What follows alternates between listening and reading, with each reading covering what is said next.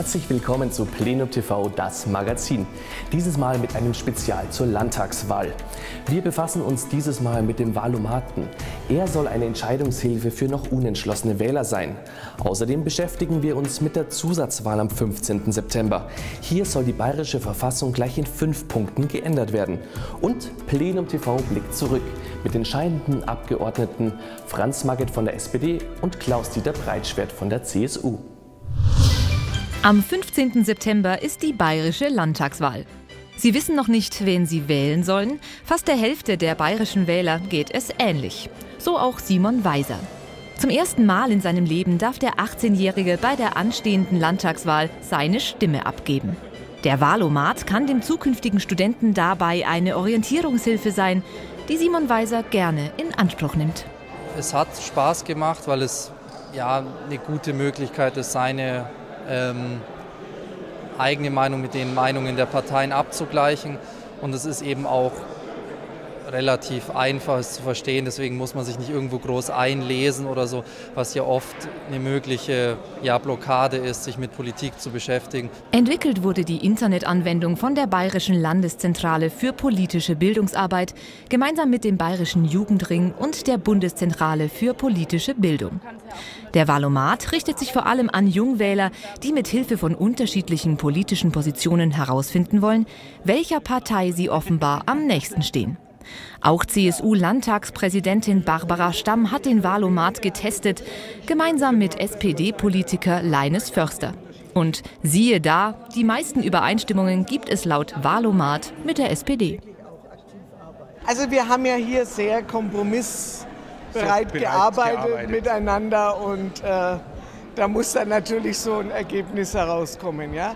Aber das, äh, ich glaube, also unser beider jetzt äh, hier miteinander auftreten, äh, bedeutet eben, dass man sich von den Inhalten her in vielen Dingen einig ist. Zu ähnlich sind anscheinend die Inhalte der großen Volksparteien geworden. Wie soll der Wähler da noch den Überblick behalten? Der Wahlomat gibt Orientierungshilfe. Zu 38 Thesen zu Wirtschaft, Familie, Bildung, Arbeit oder Integration soll der User Stellung beziehen.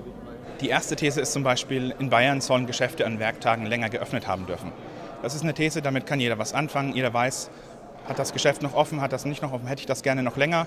Und da kann man dann mit Stimme zu, Stimme nicht zu oder neutral antworten. Der Wahlomat ist ein Instrument, das Bürgerrecht. Warum? Weil es Wahlrecht erklärt.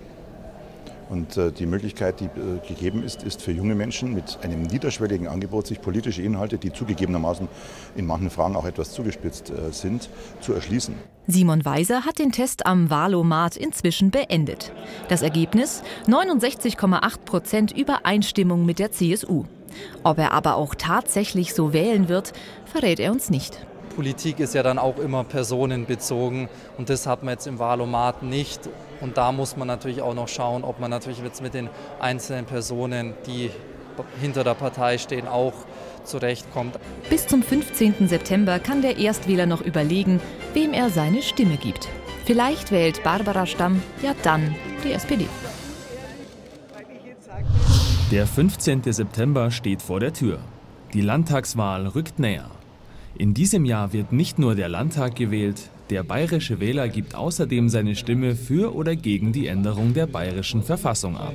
Denn dafür braucht es nicht nur eine Zweidrittelmehrheit, sondern auch die Zustimmung des Volkes. Stimmen die Bayern zu, so werden insgesamt fünf Verfassungsänderungen in Kraft treten.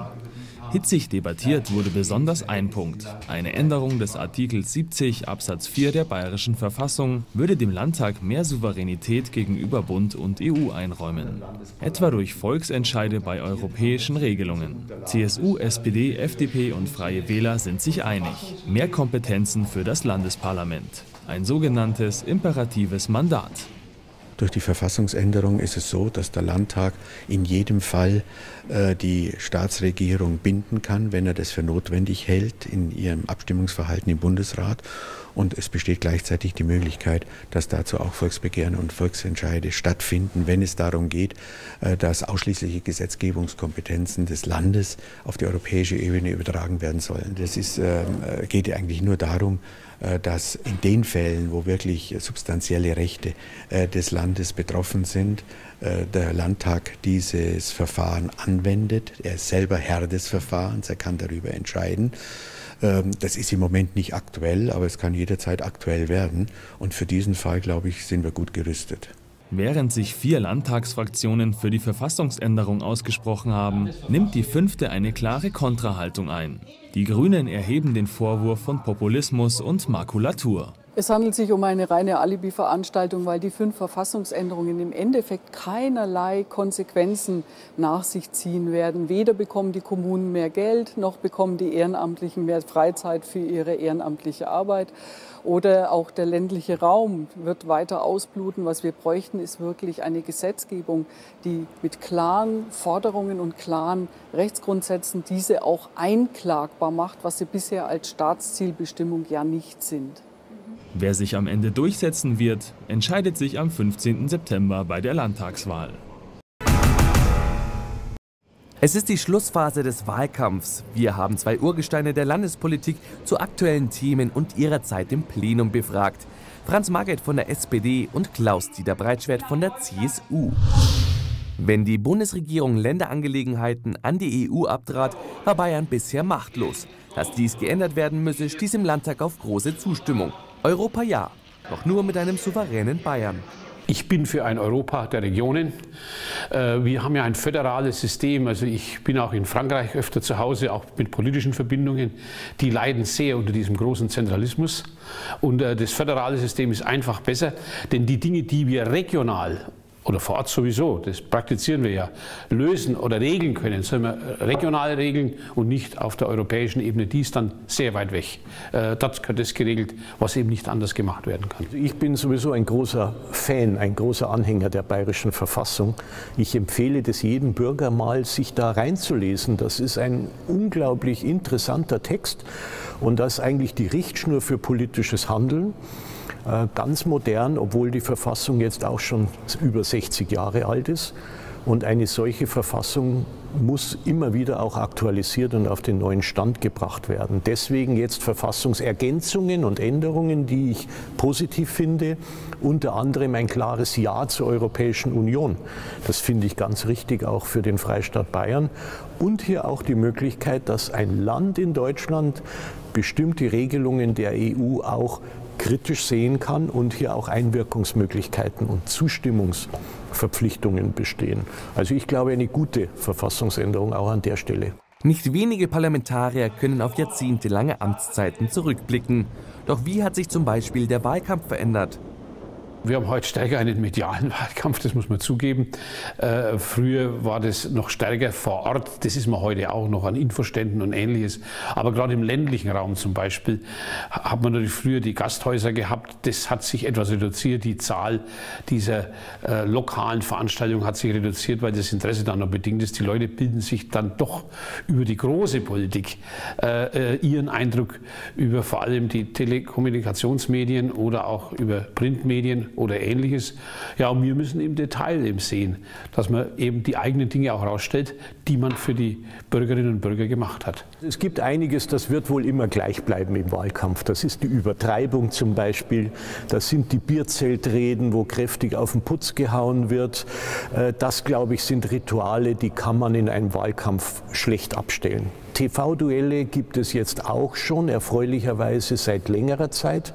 Es gab ja auch schon Duelle Schröder gegen Stoiber oder ich konnte mich äh, mit Herrn Beckstein auseinandersetzen, so wie jetzt Christian Ude mit äh, Herrn Seehofer.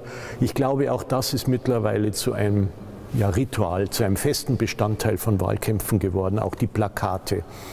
Aber es gibt andere Dinge, die kommen immer stärker und das ist schon etwas Neues.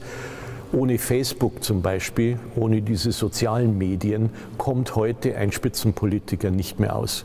Es wird getwittert, es wird äh, die Einladungen kriegst du mittlerweile über Internet natürlich, über E-Mail-Verteiler und über Facebook hast du plötzlich 10.000 Freunde. Das hätte ich mir nie vorstellen können früher, mhm. dass ich 10.000 Freunde habe.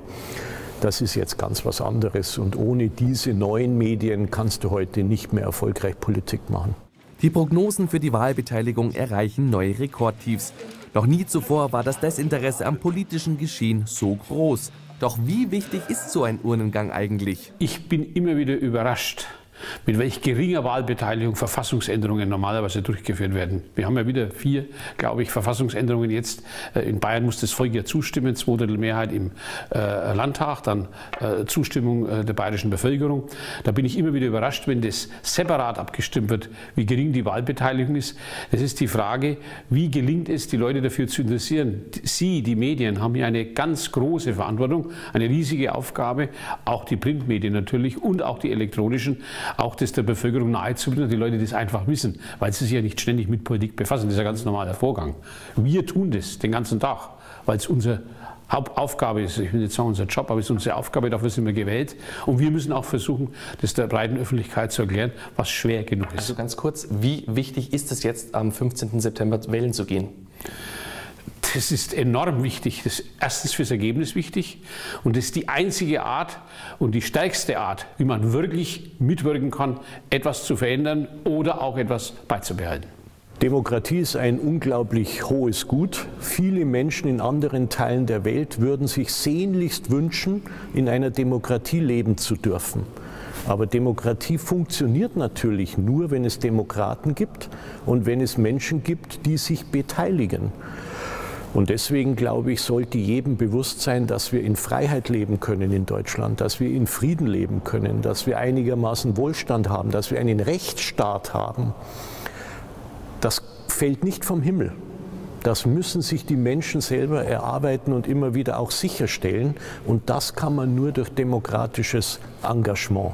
Und wählen gehen ist ja nun wirklich kein großer Aufwand.